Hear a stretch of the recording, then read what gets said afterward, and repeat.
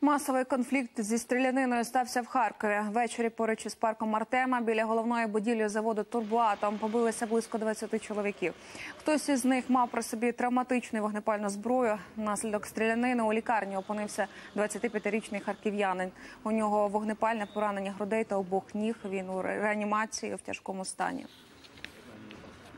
Имела место конфликтная ситуация между двумя группами лиц, принадлежность э, которых в настоящий момент каким-либо общественным организациям э, либо формированием не установлено. По данному факту в единый реестр досудебных расследований э, внесены уголовные производства